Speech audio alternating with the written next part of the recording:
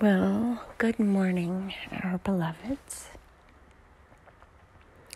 Our another is really struggling because life does not feel upbeat and positive.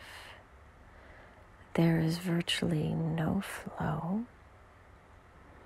and she is so very tired because it's just that way right now.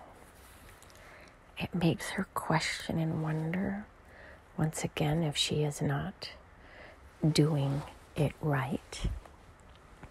As she still sees or believes in some part of her that she is being punished for not being high vibrational enough, that the universe punishes her because she's not perfect. And yet she is so close to perfect. And she doesn't even see it because her desire is to be love and light. And her desire is to teach others what surviving domestic abuse looks like and what healing from domestic abuse looks like. And the court has granted her, literally granted her the right, because in her divorce proceeding, her ex attempted to force the court to restrict her ability to ever say anything derogatory. And the court failed our another in so many ways that cause terror and fear in her heart, if we are honest. And she recognizes that there are so many other women who must have been treated the same by the court and by the same judge, but probably by the court because it is an energetic vibration. It cannot be replaced without changing the energy within the court system here in Santa Fe, New Mexico. And this is what we ask you all to do today. To chant a chant, to sing a song, to speak words of love and adoration to the court system here in Santa Fe, New Mexico so that the blessings that flow from your heart would infuse the court system so that no legal action is even required. That the love and that the tenderness and the positive emotion would just change the flavor and the nature of the court and how it rules. It is possible because when you believe in magic, magic occurs. Our another, while she is concerned about herself and how her divorce played out, she is always, and we cannot stress the always enough, she is always more concerned about how these types of decisions and applications affect and impact others because she knows that she is the microcosm of the macrocosm. And she knows without a doubt that she has more resiliency than others because she lived through, survived 31 years of abuse, and she is not as damaged as some other people would be because of her Teflon resiliency, meaning that things slide off of her more than they do others because of the divine or God essence within her. But nonetheless, she is human. She is in human form. And things do impact her, stick to her, or teach her what this feels like. So today, the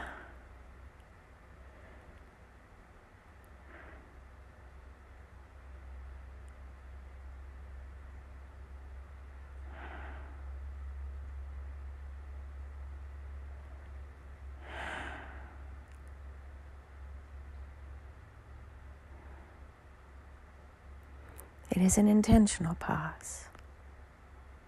It is an intentional pause. We need you, the listener, the reader, the participant, to now begin to actively participate in the series. This is the Wake the Fuck Up series, right? And so we're going to jar you a little bit more because we have asked you in the past to set specific intentions, to get involved in creating a new and better future.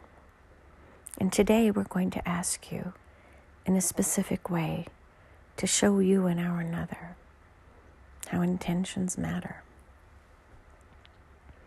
We want you to see how when you pray, focus on, or set intentions on one particular matter, how it can and will affect the outcome within particular circumstances.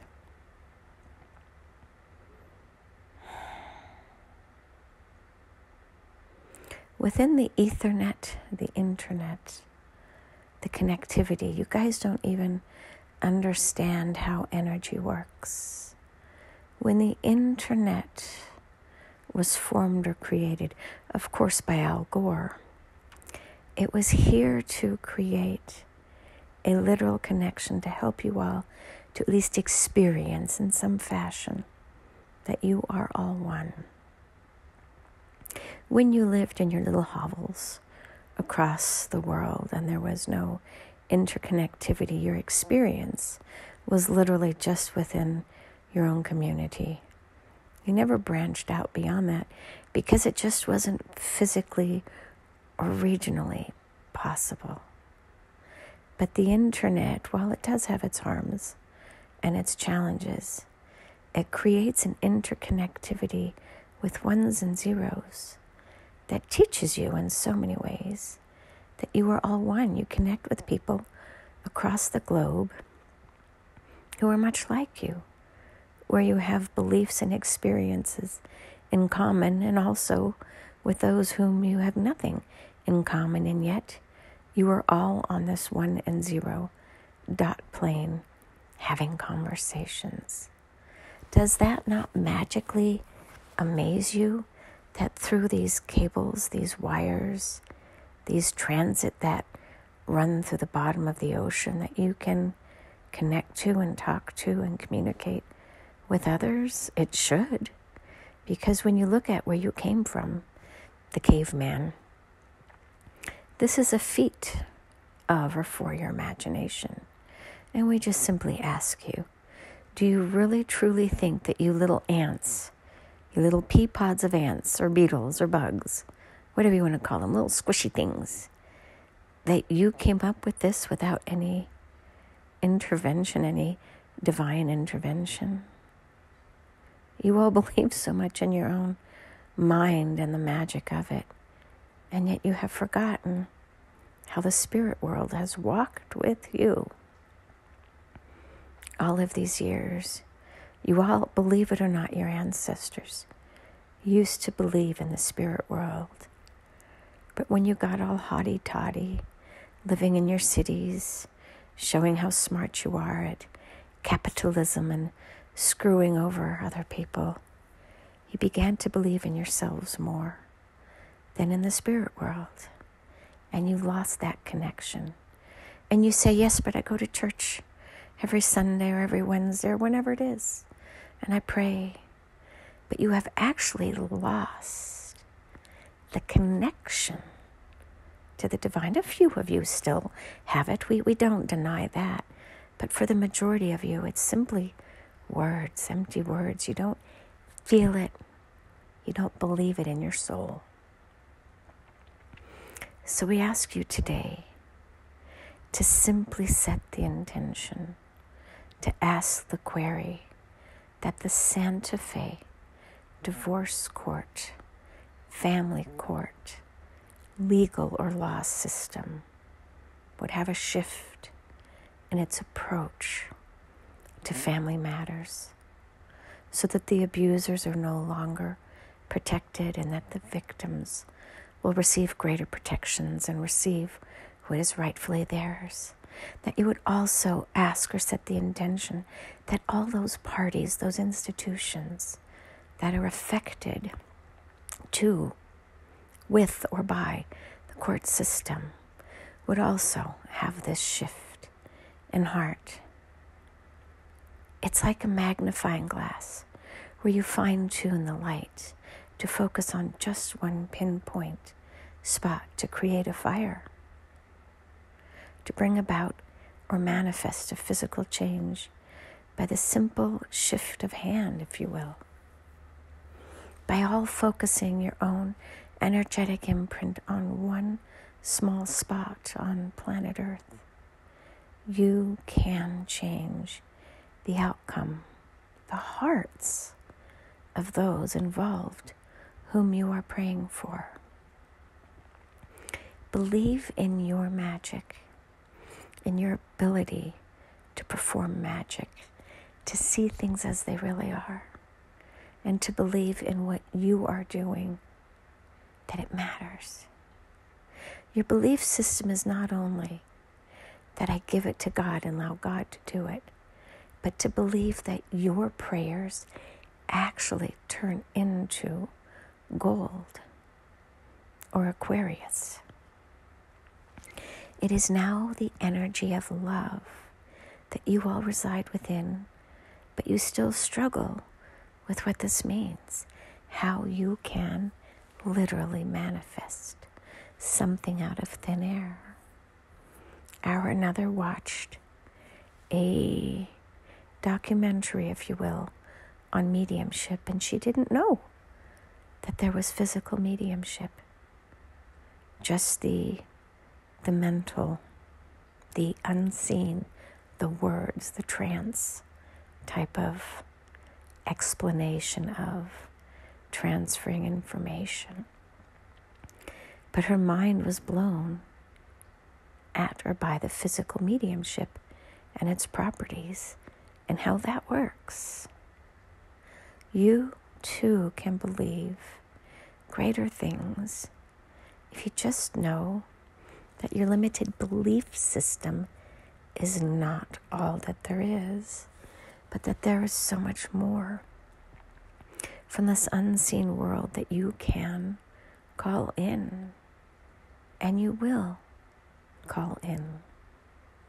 Make believe is not just in your imagination, it never has been.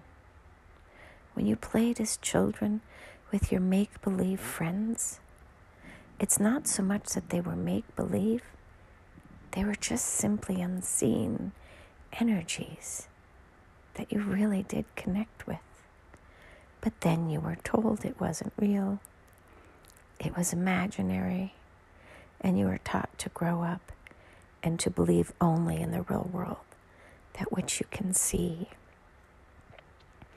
And today we ask you to go back to those early years where you just played with no agenda, no outcome, no focus other than to be in the flow and to make use of that which you had around you, and to create a rich and imaginary experience through make believe.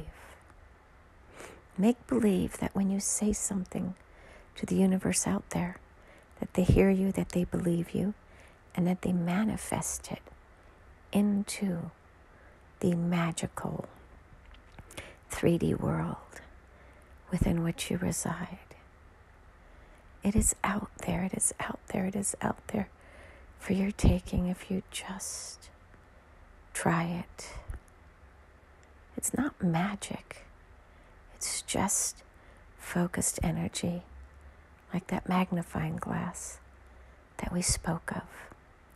If you stop scattering your seeds, but instead harness them into one specific spot you will see so much more growth because it's more manifested that way, if that makes sense. Instead of grains of sand spread around the entire world you don't notice the shift because it blends in. If you all pour grains of sand, all of you, into one spot and create a new mountain, you will see how your desires and your intentions can change and shift the future for an entire people because you chose to pray. You chose to see those who were being harmed by a court system where they have lost the way because they think in their mind and they have stopped feeling with their heart to find where truth lies and instead believe those who are the most manipulative, who are the most callous, who are the most insensitive, because they appear at first glance to be the most predictable and protected. You believe what you believe because if it looks shiny and productive, then it must be good. But what about the narcissists, the psychopaths, the sociopaths, the sadists, the Jeffrey Dahmers of the world? Those are the serial killers who have learned how to do it so well. They are amongst you, everywhere around you. And you don't see them because you don't want to see them, because you believe in the prosperity fallacy that those who are prosperous must be good or smart or right. But maybe, just maybe, they are the most evil because they have no soul, because they can lie, because they don't feel bad when they lie. They show no signs really outwardly that they lie because they have no soul. As you can see, our Wake the Fuck Up series is a very different flavor than the others because it is time. It is time that you begin to shift the power back to the victims and away from the abusers because you can. You just need to set your intention so, literally, the scales of justice, the court system, will be protected once again by the interests of those who care and who matter. Your belief systems matter. Your prayers matter. Your intentions matter. Your focus matters. And so it is. Namaste.